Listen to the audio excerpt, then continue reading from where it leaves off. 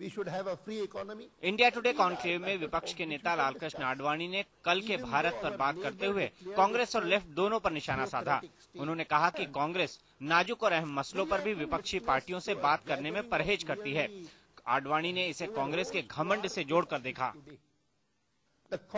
Party suffers from a sense of arrogance and uh, authoritarianism. हमारे अलावा दूसरा तो कोई राज कर नहीं सकता। और उसमें भी कांग्रेस पार्टी में भी एक डायनेस्टी है जो ही राज कर सकती है और कोई नहीं कर सकता। कल बड़ा भारी भाषण हुआ था। For a person committed to democracy, the whole thing looks ridiculous, absolutely ridiculous. But Advani ने कहा कि ईरान और भारत अमेरिका परमाणु समझौते जैसे दोनों मुद्दों पर बीजेपी ने सरकार का साथ दिया। जबकि सरकार की सहयोगी लेफ़्ट पार्टियों ने अड़ंगा डाला। आडवाणी ने कहा कि सरकार ने इतने अहम मुद्दों पर बीजेपी से ठीक से बात तक नहीं की। आडवाणी ने बात बात में विकास दर के सवाल पर भी सरकार को सुना डाला।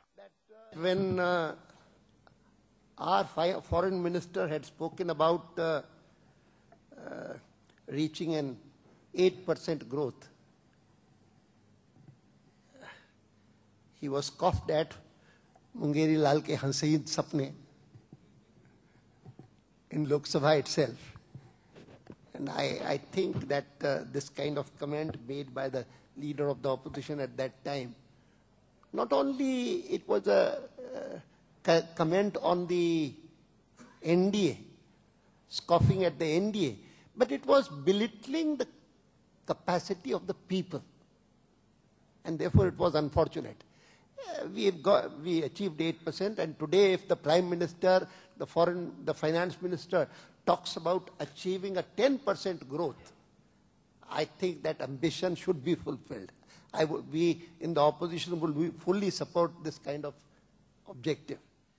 आडवाणी ने माना कि आने वाला समय गठबंधन राजनीति का है इसीलिए राजनीति में छुआछूत को छोड़कर तमाम राजनीतिक दलों को देश के भले के लिए आपस में बातचीत का दायरा बढ़ाना चाहिए दीपक चौरसिया दिल्ली आज तक